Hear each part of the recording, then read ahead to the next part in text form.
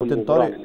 كابتن طارق وحكاية النادي الأهلي بقى أكيد كنت بتتكلم معاه طول الوقت فيها يعني طبعا آه هو خلي بالك هو هو هو جبل يما هو جبل يعني أي لعيب خلي بالك أي لعيب وكابتن عصام عارف مم. إيه، لما بيجي له الأهلي أو الزمالك.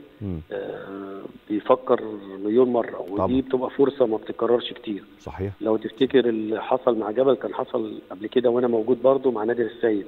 صحيح. وكان برضه نفس الموضوع وراح النادي الأهلي وكان في وجود عصام الحضري ونادر ما لعبش. وخدت منه كتير جدا جدا جدا. ونادر كان في الوقت ده آه، متألق يعني وكان نجم مصر.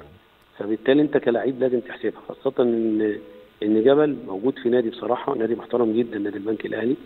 أعتقد الناس بيقدروه بشكل كبير جدا.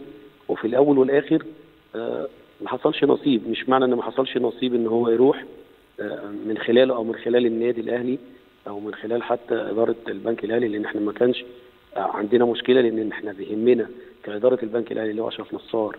وأنا كمدير فني إن أي حد هيجي له عرض من الأهلي من الزمالك من ال... أنا أنا أنا من نوعية المدربين اللي اللي بحب دايما أساعد اللعيب. لأن مهما تقول له ومهما تقنعه مش هيقتنع هو عايز يروح يجرب التجربة. صحيح. ف...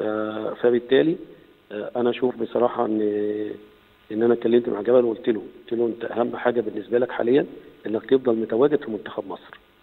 آه، لأن كل بيسعى إن يكون موجود من اللعيبة إنه يكون موجود في منتخب مصر.